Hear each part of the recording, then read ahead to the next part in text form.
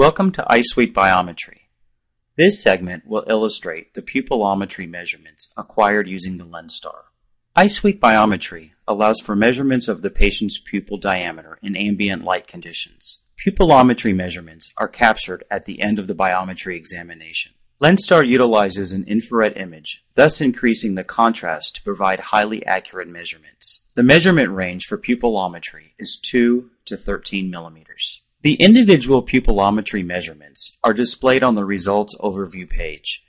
By selecting any of the pupillometry values, the physician can open a new window displaying all of the individual pupillometry measurements from the biometry acquisition.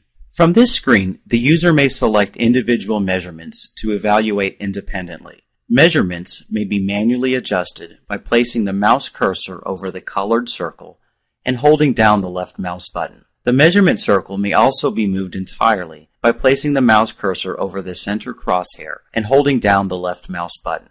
The pupillometry values may also be excluded individually with the right click of the mouse.